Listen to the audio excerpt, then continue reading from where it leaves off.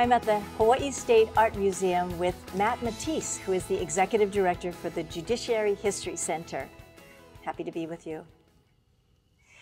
So nice to see you again. Nice to see you too, Layla. You have a very busy day at the Judiciary History Center. Can you share with us where you're located and what, what are some of the programs that are there? We are located in Ali'iolani Hale. We're fronted by the King Kamehameha statue. We are on the ground floor.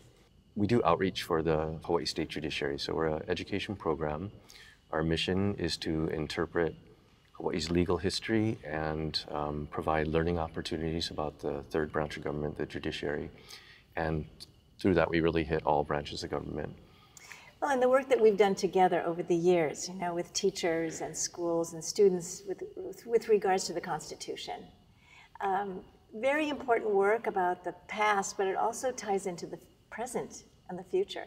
I think that's what you like the most. We're very fortunate to have the opportunity to take hard looks at our past and figure out what we can learn and move forward. So, what's the most rewarding part of your job in working with the teachers? They're dying for our content. So, um, it, you know, we're they're coming to us for information.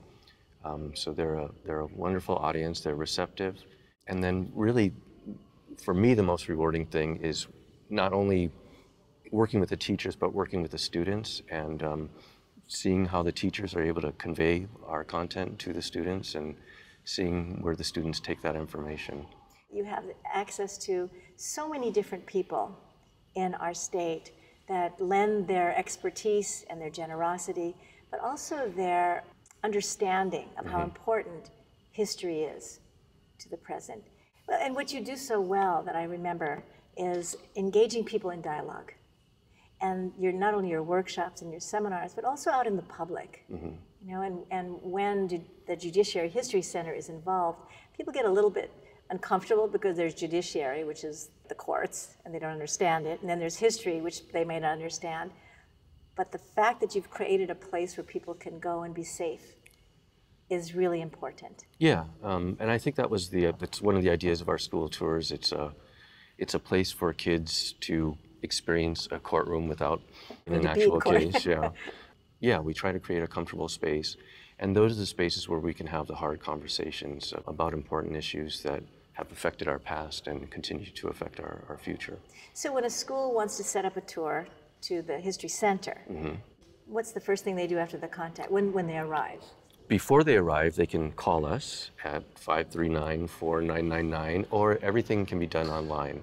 So, they can book tours online. Um, we take grades two through college.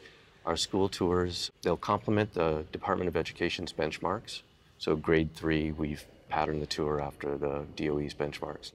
They last about an hour, hour 15 minutes. So it's a tour through the center, but at the same time, you're giving them content. Content, yeah. So they usually start with a learning experience in our movie theater.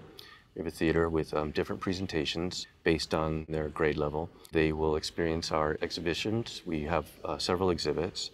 They'll always experience a culminating activity in our restored courtroom. So we have a courtroom that's been restored to its 1913 condition, mm. and we use that for mock trials and, and the, the courtroom activities.